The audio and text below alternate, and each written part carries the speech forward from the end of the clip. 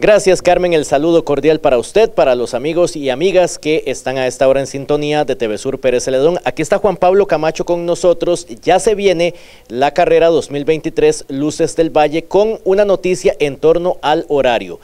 Inicialmente era a las 3 de la tarde, ahora va a ser a las 5. Pablo, cuéntenos detalles de esa variante que es muy, muy interesante y que también la gente lo tome en cuenta porque desde hoy ya se anuncia que hay un cambio en el horario.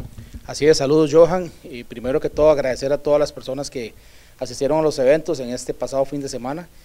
Y lo que se acerca, la carrera Luces del Valle, se va a realizar a las 5 de la tarde, tal vez ahí rápidamente mencionar es la observación y solicitudes de diferentes atletas por el tema del clima, y realmente está demasiado fuerte ya a las 6 de la tarde, es un un tema muy, muy difícil, entonces bueno, buscando que sea un poco más, más atractivo, más fresco, por así decirlo, entonces a las 5 de la tarde. Aún hay, aún hay inscripciones en la municipalidad, en las cajas recaudadoras y en Plaza Monte General, así como en la página de la Municipalidad de Pérez en la página web, que es www.pereceledon.go.cr. 12 mil colones el costo. Y recordarles la entrega de paquetes este próximo viernes en el Polideportivo, de 8 de la mañana a 7 de la noche y un periodo en la municipalidad eh, aproximadamente de 8 a.m. a 12 a mediodía el día sábado. Juan Pablo, es importante eso que usted apunta, se toma en cuenta la, opinión de competidores y organizadores, ¿verdad? También la gente de Acosur está muy, muy satisfecha con esa variante porque el clima va a favorecer aún más. Sí, también agradecerle a Acosur, a Esteban, Esteban Mora, eh, que es una de las personas que ha estado en directa comunicación con la municipalidad y todos sus compañeros, ¿verdad? De Acosur, eh, de verdad que felicitarles, es un grupo muy, muy organizado, un grupo muy responsable. Y genera muchísima confianza para lo que es la parte de atletismo de la zona sur. Y también recordar la carrera de niños.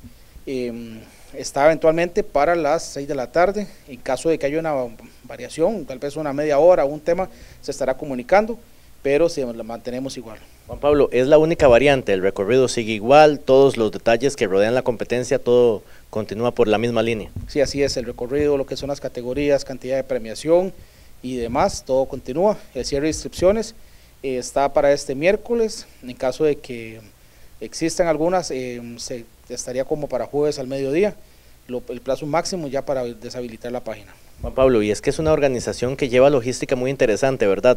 Medallas, chips, esos, esos detallitos que se cuidan porque es una actividad muy bien organizada.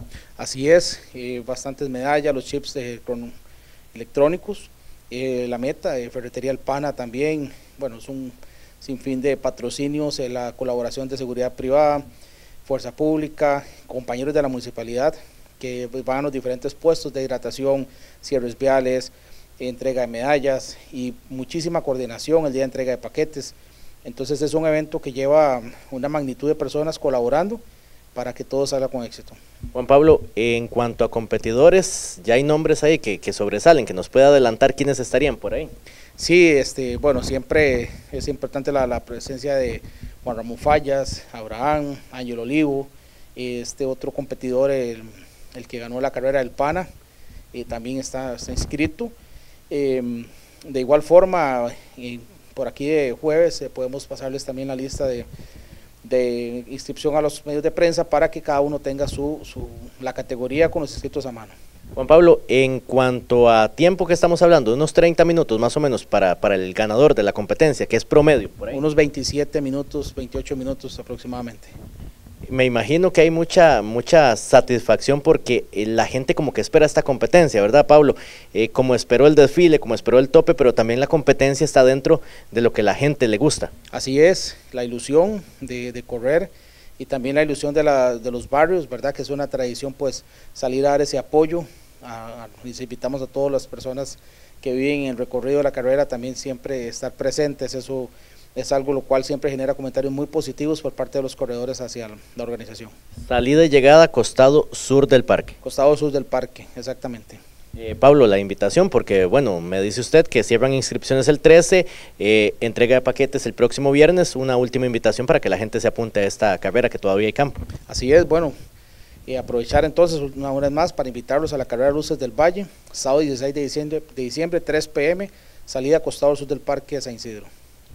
Ahí está Juan Pablo Camacho de la Municipalidad de Pérez Celedón hablando acerca de esos detalles, la noticia del cambio de horario de 3 a 5 de la tarde para que la gente lo tenga pendiente, tanto atletas como los que siempre salen al costado de la calle, de la carretera a presenciar esta carrera Luces del Valle, que es toda una tradición aquí en Pérez Celedón. Carmen, vuelvo con usted al set principal con más noticias.